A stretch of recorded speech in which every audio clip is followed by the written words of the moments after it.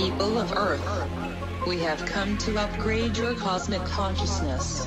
DNA activation ready. In three, two, one.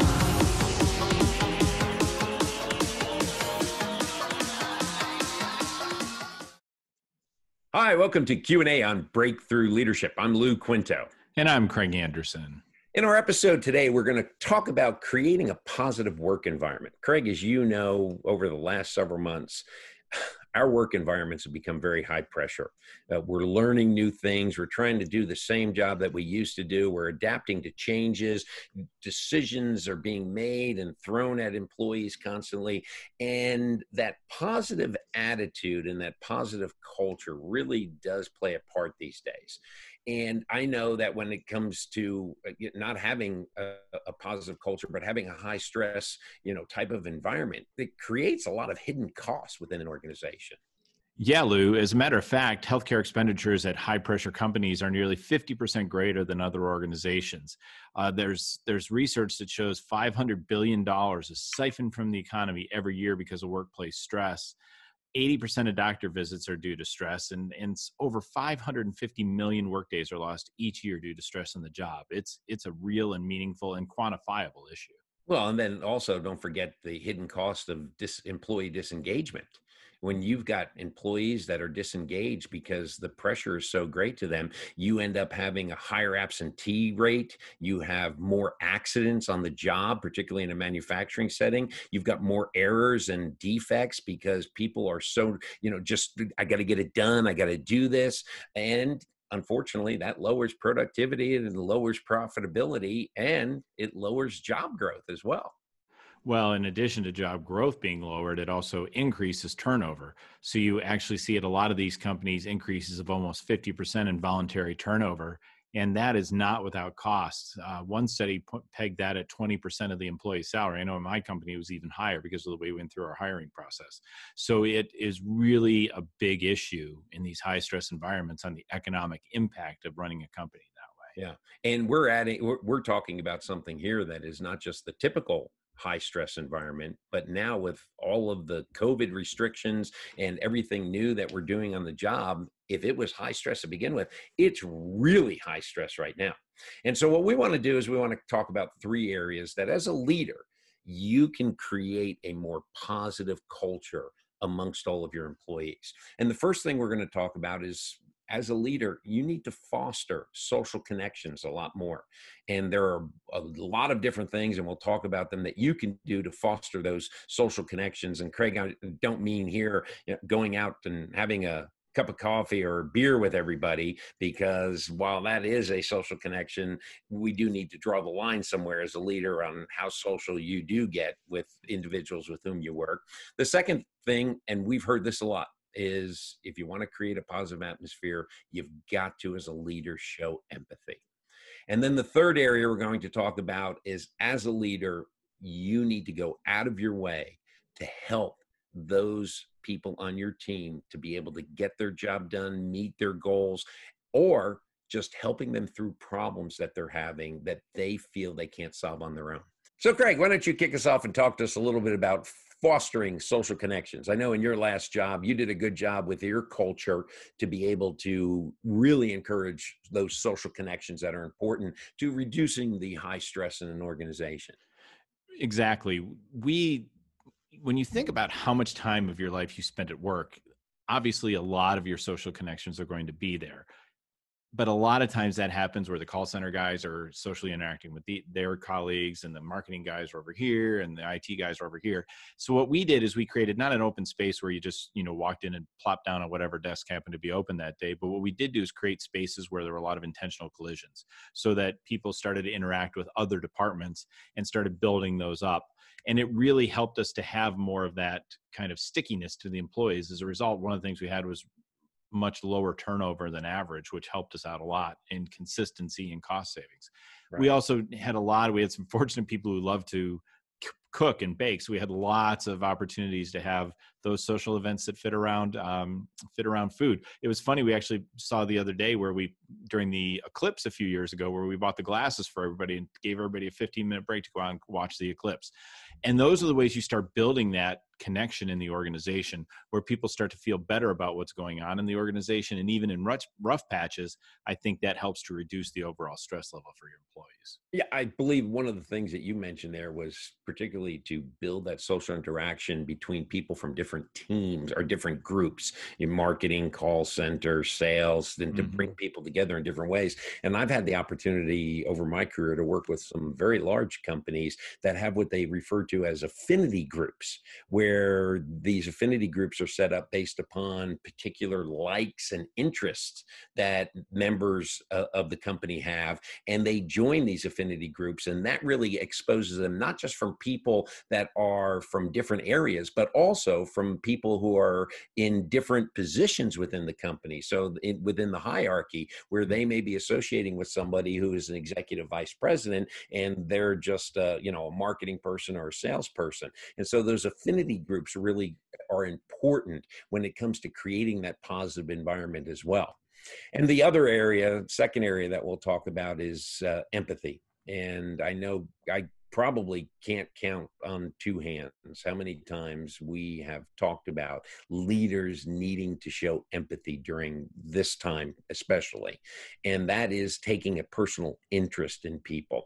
So you you've got a situation where if you've got someone who's not performing up to their normal standards, eh, you could call them into the office and say, "Look, we're at the third quarter here. This is the third quarter in a row now that you haven't hit your your quotas, you haven't hit your numbers, and we need to sit down and talk about that because I'm getting very upset." Or there's another way you can approach that same situation using empathy.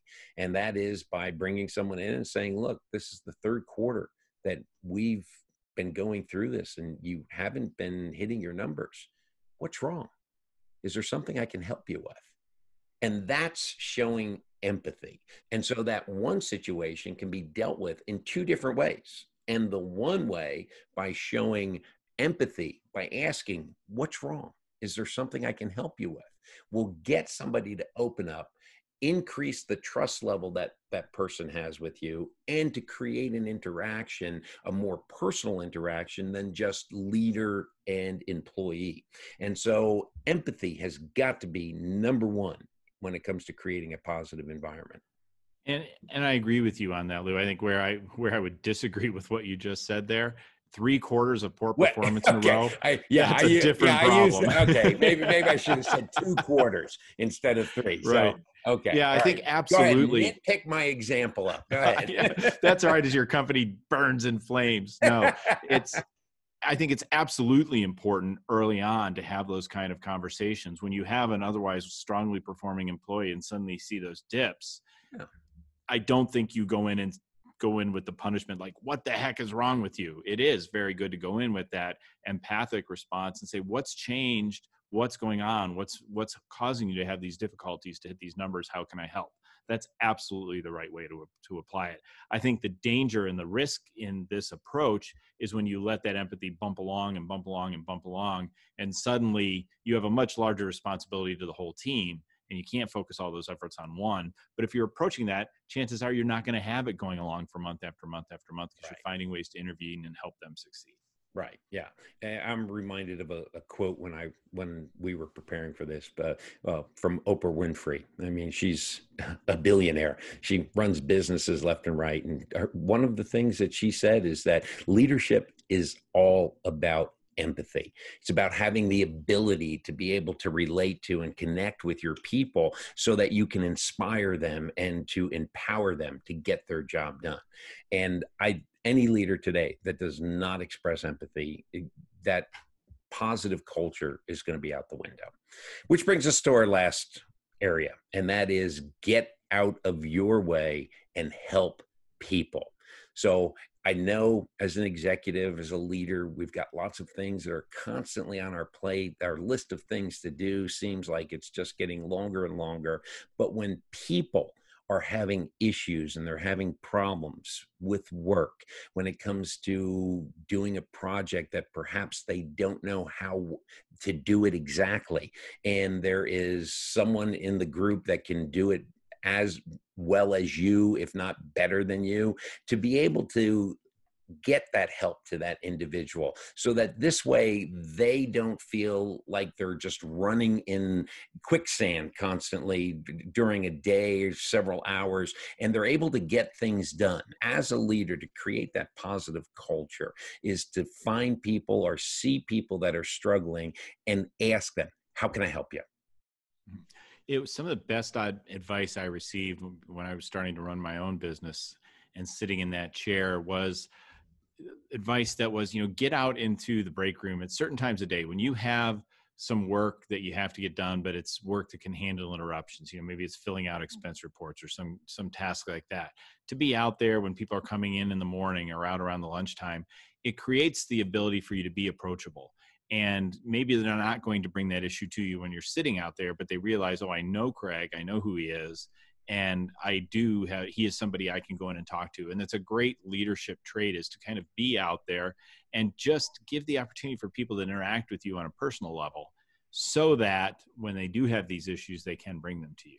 And that it's a it's a huge piece to get out of the way to, to get out of your own way and help them but first they have to be willing to come to you for help and you've right. got to create that layer of approachability. And, and I, I truly believe that there are some situations where some leaders, uh, they may not have done it intentionally, but they've created that culture of fear and negative consequences. If things aren't getting done properly, they're not getting done on time.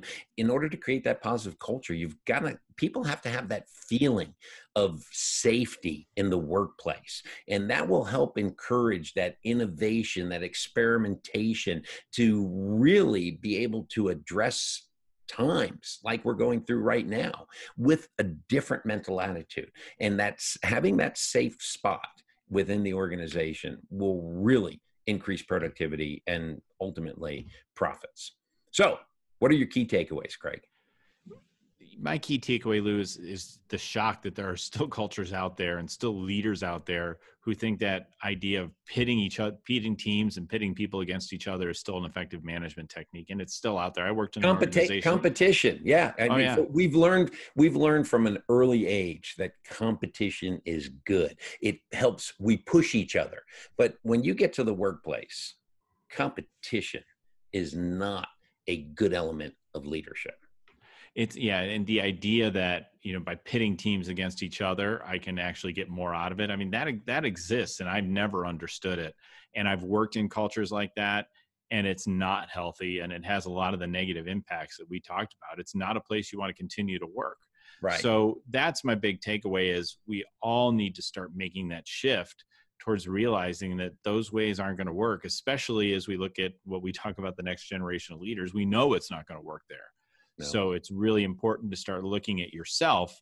You know, I've talked a lot about it in other forums. When I was leading my team, I realized I had to change myself before I could change the culture. Yeah. And that's a really important takeaway. My takeaway is empathy.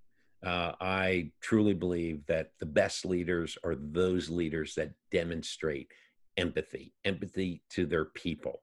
I know it's difficult that to because that for some people it's an ego issue of expressing empathy particularly and all because you and i are both guys it, it tends to be a masculine type of trait where ah, i'm not going to show any empathy you know let's get this done let's do that. But everybody needs to practice empathy and we can practice empathy and craig the good thing about that is not just at work but at home too practice it with your loved ones. Practice it with your spouses your, your children because when you can start doing it 24 hours a day it just becomes natural and practicing that empathy to look at things that people are doing and to be empathetic about any struggles or any type of consternation that they may have about a particular situation and to get down to that why and to understand that why truly becomes a great trait of a leader.